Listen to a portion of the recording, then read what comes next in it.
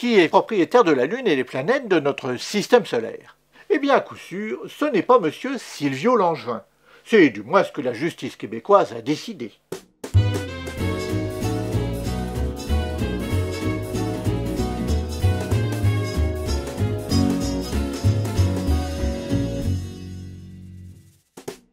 Silvio Langevin est un Québécois habitué des tribunaux. Ce monsieur avait déjà engagé une cinquantaine d'actions en justice, notamment parce que, je cite, des personnes en autorité pour la reine aient mis six faux psychologues sur lui et aient essayé de le faire passer pour délirant. Ou encore par le fait qu'il ait découvert un coup d'État du gouvernement du Canada. Chose curieuse, à chaque fois, il a été débouté. Il a dû être dégoûté d'être débouté. Malgré ses différents échecs devant les tribunaux québécois, Silvio Langevin n'a pas hésité à carrément réclamer en justice la propriété du système solaire tout entier.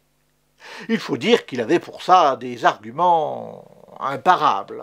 Je vous laisse le soin de prendre connaissance des détails plutôt croustillants de son argumentaire dans la décision, le lien est en description, mais je ne résiste pas à vous en citer deux. Monsieur Langevin déclare par exemple qu'il a décidé de faire une collection de planètes, comme d'autres font une collection de cartes de joueurs de hockey. Et un peu plus loin, il ajoute que le 7 janvier 2012, à 18h30, il avait du temps à perdre, et que par hasard, il a eu l'idée de lire quelques définitions dans le dictionnaire, dont celle du mot Terre et du mot planète, ce qui l'amène à conclure que, je cite, comme les autres, la planète Terre n'a aucun propriétaire, donc c'est évident et hors de doute, c'est un astre errant appartenant au système solaire, certain qu'elle me revient de plein droit à titre de propriétaire, possession et administration. Je ne sais pas comment on dit au Québec, mais dans ma campagne Tourangelle, on dirait du bonhomme qu'il est un petit peu tabaillot, ce qui pousse naturellement le magistrat à rejeter l'ensemble de ses demandes. Ça, ça n'étonnera personne. Tout le monde pouvait le prévoir sans se tromper, même une voyante extralucide. Mais le juge va plus loin, et c'est là que ça devient très intéressant. Il existe en effet au Québec quelque chose qui manque cruellement en droit français, la déclaration de quérulence.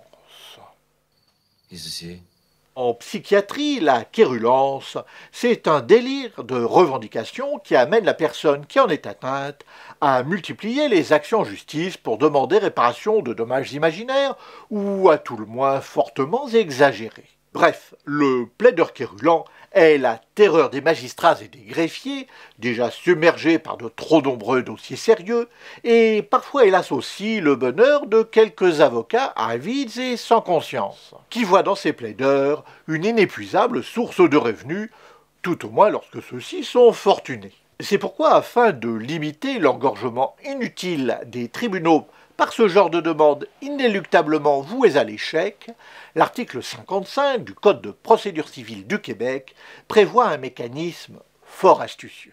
Une fois qu'un plaideur est déclaré quérulant par un tribunal, il ne peut plus agir directement en justice, ses demandes étant rejetées sans même être examinées. Et puisqu'il faut évidemment concilier la chèvre et le chou, ou plus précisément le droit naturel de tout citoyen d'agir en justice et l'intérêt bien compris des justiciables normaux d'accéder rapidement au juge, le plaideur qui a été déclaré quérulant ne peut saisir la justice qu'après y avoir été autorisé par un juge. Il s'agit donc d'une manière élégante et respectueuse des droits de tout le monde d'éviter à l'avenir une nouvelle demande de M. Langevin sur la propriété du système solaire, qui évidemment est euh, problématique. Quelqu'un dit problématique? Eh, c'est mon domaine ça Un comportement problématique, c'est peut-être celui qui a poussé trois personnes à porter plainte contre moi au prétexte qu'elles ne m'aimaient pas. À moins que ça consiste à me dénoncer aux impôts ou à la répression des fraudes. Deux fois. Et ouais, quand on a la capacité argumentaire d'un frigo en panne, on essaye là où on peut. Et quand ça donne toujours rien, on chouine sur Twitter en vous accusant d'avoir dit des trucs dans un sketch que personne n'a vu. Si vous n'avez pas la référence, je ne peux rien pour vous. Oh putain de merde Oh putain de merde, un chat qui parle Bon, c'est pas un peu fini les deux comiques, là? Donc, revenons à la déclaration de quérulence. Il existe au Québec un registre dans lequel sont consignés les noms des plaideurs quérulents ils sont environ 300 à ne pouvoir agir en justice qu'après l'autorisation préalable d'un magistrat. J'avoue que je trouve ce système très astucieux, et le droit français ferait bien de s'en inspirer. Grâce à ça, on va les suivre la trace. Pourquoi j'ai pas ça, moi? En effet, en France, rien n'est simple. Qu'il s'agisse de la gastronomie, de l'orthographe ou de la législation, nous nous ingénions toujours à tout compliquer. Au lieu d'avoir simplement un registre mentionnant les plaideurs quérulents, comme nos cousins québécois, ce qui évite a priori le procès, le droit français préfère régler ce genre d'affaires en organisant un autre procès. En effet, deux articles du Code de procédure civile punissent l'abus de droit d'agir en justice. Ils prévoient tous les deux à peu près la même chose. L'un s'applique lors d'un procès devant le premier juge et l'autre en appel. Celui qui agit en justice de manière dilatoire ou abusive peut être condamné à une amende civile d'un maximum de 10 000 euros. L'amende civile est versée au Trésor, mais l'auteur de l'abus de droit peut également être poursuivi et condamné à des dommages-intérêts. Vous le voyez, le système français est plus compliqué et rajoute de la lenteur, puisqu'on résout le problème a posteriori par un nouveau procès, alors que le droit québécois évite tout simplement le procès. Il est malin, c'est vrai qu'ils sont malins ces égotos. Merci à maître Étienne Massé, notaire au Québec, de m'avoir communiqué cette décision, ce qui m'a permis de parler aujourd'hui d'un autre droit francophone en plus du droit français. Ça va faire plaisir à nos cousins québécois et à nos cousines, bien évidemment, qui sont de plus en plus nombreux et nombreuses à être fidèles à la chaîne. Merci aussi à Arnaud pour sa complicité. Et merci surtout à mes donatrices et mes donateurs. Vous avez pu voir cette vidéo avant tout le monde pour vous remercier de votre générosité. Car ce que rapporte la publicité ne suffit pas à faire fonctionner la chaîne. Vos dons sont essentiels pour vous avez le droit. Si cette vidéo ne vous a pas plu, ça reste entre vous et moi naturellement.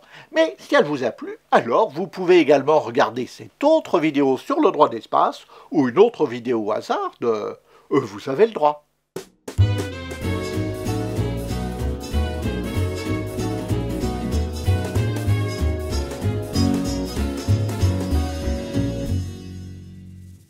Toujours très pratique de tourner avec un flingue.